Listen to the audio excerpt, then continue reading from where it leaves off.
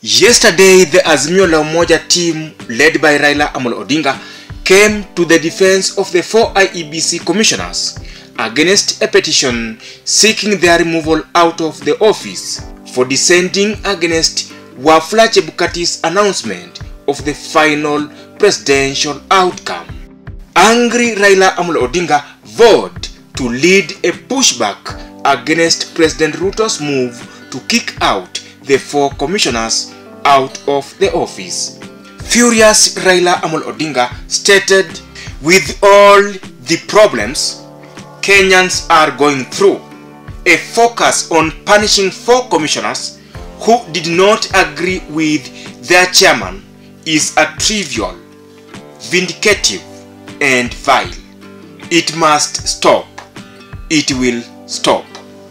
This statement from Raila Amolo Odinga has attracted mixed reactions across the political divide, with William Samoei Ruto's Kenya Kwanza camp seemingly agitated, and President William Samoei Ruto has not been left out.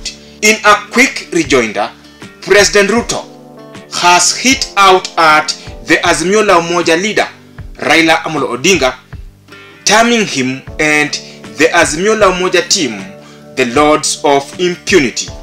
William Ruto, taking it to his social media pages, stated, The Lords of Impunity, who destroyed oversight institutions using the handshake fraud, should allow Parliament to hold rogue officials who put the nation in danger by subverting the democratic will of the people to be held to account. New order is rule of law, not wishes of big man.